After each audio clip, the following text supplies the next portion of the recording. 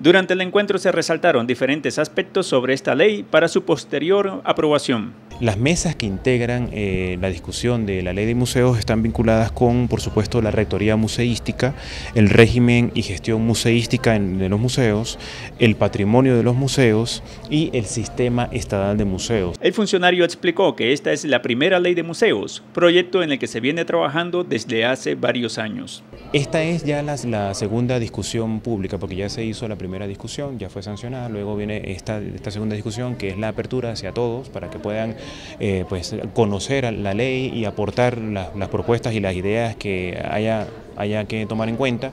Y el paso posterior ya es la sanción que por supuesto se va a hacer en el seno del el Consejo Legislativo del Estado Bolivariano de Mérida. La actividad sirvió de escenario para que personalidades de los distintos entes públicos y privados, así como del Poder Popular, presentaran sus propuestas. Desde Prensa Gobernación de Mérida, Alonso Moreno.